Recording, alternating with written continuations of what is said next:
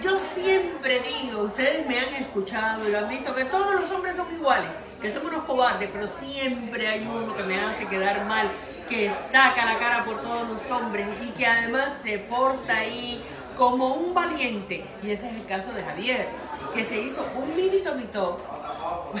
Bueno, un poquitico, un poquitico valiente. Porque la primera vez él iba a hacérsela con anestesia local, pero se puso muy nervioso y ayer ya finalmente se la pudo hacer con anestesia general. Cuéntame, ¿cómo te fue la noche? ¿Cómo te ha ido la recuperación? ¿Cómo te has sentido aquí con no, nosotros? Todo muy bien, todo tranquilo. La atención, de hecho, esta mañana me llamaron de la clínica. ¿Cómo me sentía? Si dormí bien, dije, genial, gracias.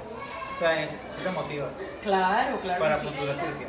Además, esa, esa, es nuestra intención, que todo el mundo forme parte de nuestra familia, que todo el mundo se sienta como si estuviera en su casa, para que justamente, porque aquí se empieza, se sabe cómo se empieza, pero no se sabe cómo se termina o cuándo, O cuándo. se termina, cuándo se termina.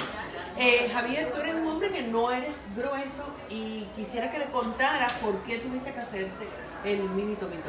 Bueno, después de tanto tiempo luchando con el peso, subiendo y bajando y comencé a entrenar y comencé a entrenar y por mucho que entrenar y muchos abdominales, esta parte no, nada que eso parecía.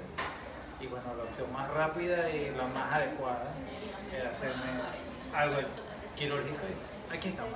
Y me decía Javier que lo más gracioso es que él tenía el zip pack del ombligo hacia arriba, ¿no? Aquí, sí. Six pack y un chocolatito. O sea, tenías realmente tres, tres cervezas. Cuatro, cuatro, cuatro, cervezas. es correcto.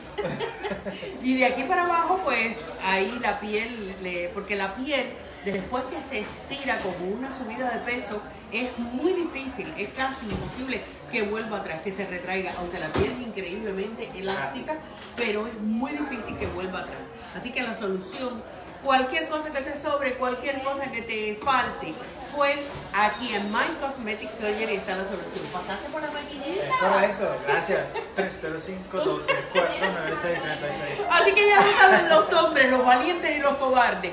My Cosmetic Surgery es la clínica número uno de toda la nación. 305-264-9636 y cántalo para que se te pegue. 305-264-9636 My Cosmetic Surgery. 305-264-9636 305-264-9636